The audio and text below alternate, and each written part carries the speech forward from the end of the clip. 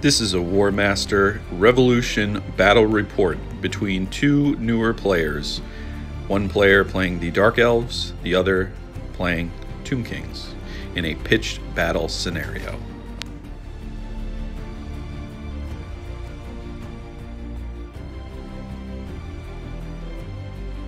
The Dark Elf player chose to get the most experience out of this game by taking several different units in the army list, opting for flexibility over specialization.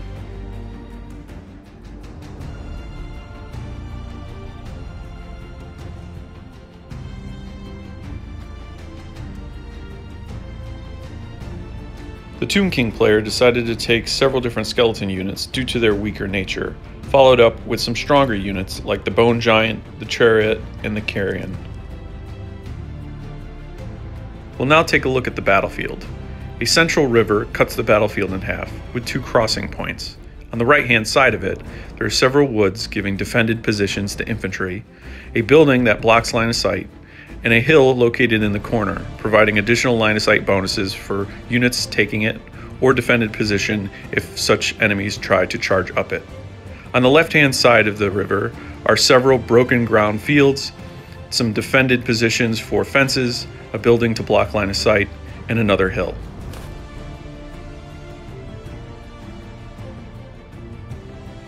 The Tomb King player wins the scouting roll and deploys his scouts first, followed by the full army of the Dark Elves. However, we will now start with the Tomb King deployment. The Tomb King player deploys his Bone Thrower unit on the hill next to a small brigade of chariots, followed by his Lich Priest, a Carrion unit, a Bone Giant, and his general. A large brigade of two each archers and spearmen flank the right side of the river. On the other side of the river is the second Lich Priest, followed by a small unit of spearmen to guard the flank.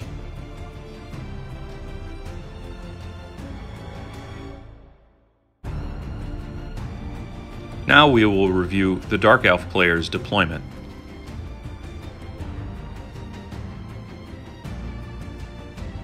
The Dark Elf player deploys his Witch Elf unit on the far flank, followed by a unit of Repeater crossbowmen, a unit of Cold One Knights, a small brigade of spearmen, and his general. Continuing, we have a single unit of bolt throwers, a war hydra. On the hill is a unit of harpies, followed by his sorceress and a unit of dark riders.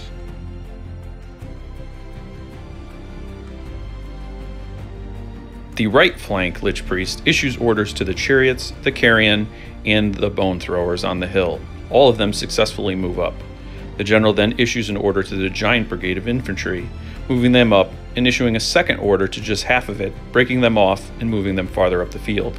He then successfully issues two orders to the bone giant, getting him up beside the house and in striking distance. On the left flank, the Lich Priest issues a successful order to the small flank force unit of spearmen across the river. Then, after all units have been completed, the Lich Priest and the Tomb King all move up to position themselves for better orders on the following turn.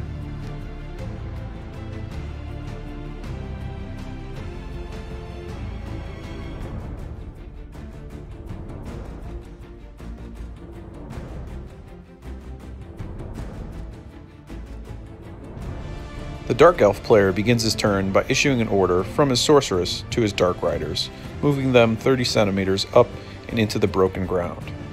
He then follows up with an order to the Harpies, but fails. Using the Warmaster Revolution rules, they should have made a 10 centimeter move up for flyers. However, we misinterpreted the rule and they had made a half pace move. The Dark Elf General then begins taking command of the army, issuing an order to the Hydra, moving it up the field, and then to the small brigade of spearmen, up into the wood to take advantage of defended position.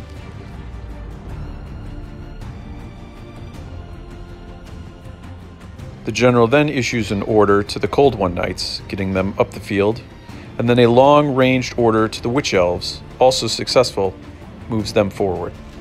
Although not shown, he then issues an order to the Repeater Crossbowmen, moving them up in line with the Witch Elves.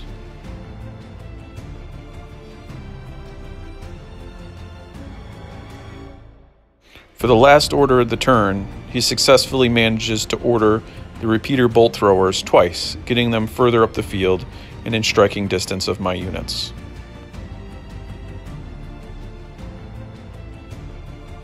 During the shooting phase, the repeater bolt thrower managed to score several hits on my flank spearman unit, causing them to fall back and also lose an entire stand. The repeater crossbowmen then fire a single shot long range volley at my bone giant. These hits fail to make armor saves and cause three wounds, and drives back my bone giant.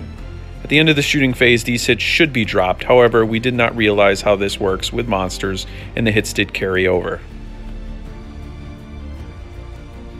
The play then passes back to the Tomb King player.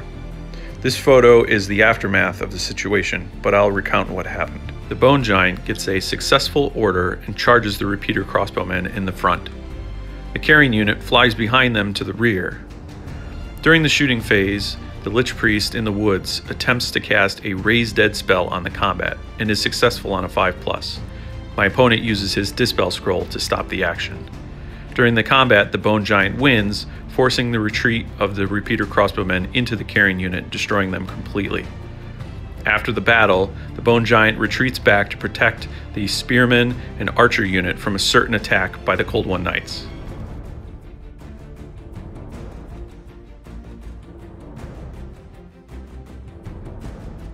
Elsewhere on the battlefield, the chariots move up for a flanking maneuver around the forest on the left hand side.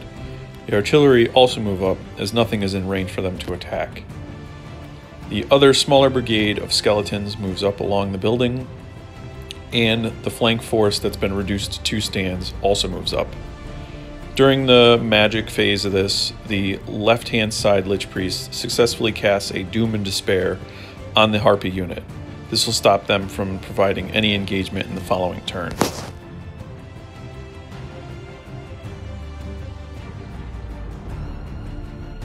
Play then passes back to the Dark Elf player.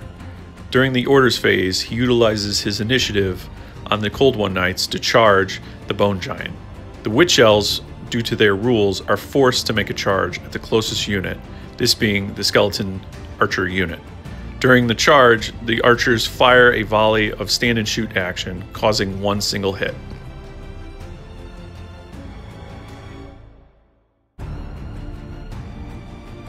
The Spearman Brigade moves up and attempts to make a second move in order to get engaged with the archer unit. However, they fail the order and stop short. The sorceress then orders for the harpy unit. Although they cannot engage, they fly up behind the spearmen end of the brigade, just in case they're able to push them back in a future turn. The Sorceress then orders the Dark Rider unit up forward into a more advantageous position for shooting.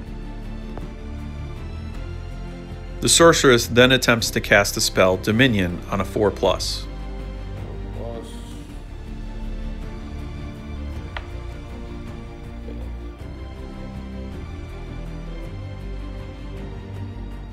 The frenzied Witch Elf unit easily slices through the Skeleton Archer unit and follows up into the Spearmen. Although they are able to take out one stand, they take enough damage and are forced to retreat. Now reduced to one stand, there's not much left they can do. The Cold One Knights easily mop up what's left of the Bone Giant, although in return, he does make them sacrifice one complete stand.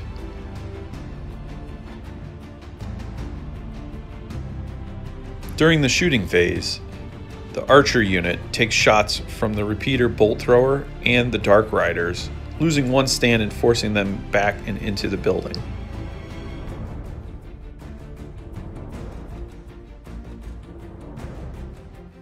The Tomb King player, realizing it would take too long for the chariots to move around the wood, orders them back.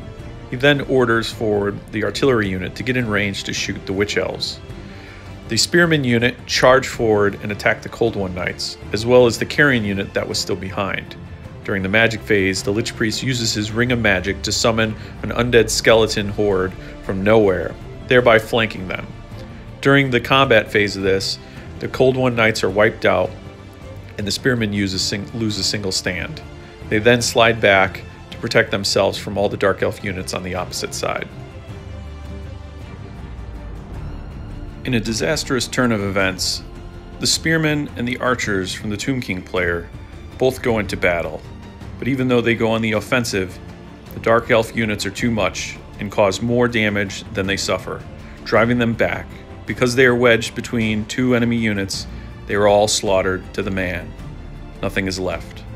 At this point, the break for the Tomb King player is down to a half a point.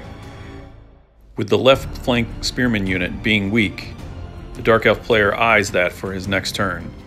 Should he be able to take one standoff, he secures victory.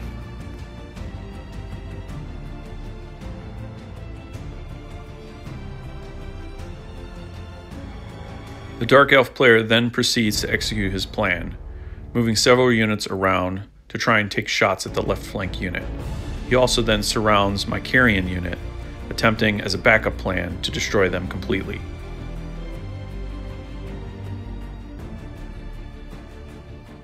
Delivering a volley of fire from his Dark Elf Bolt Thrower and Dark Riders secures victory by eliminating the last stand of the left flank unit. Dark Elves win with two break to spare. I hope you have enjoyed this Warmaster Revolution battle report.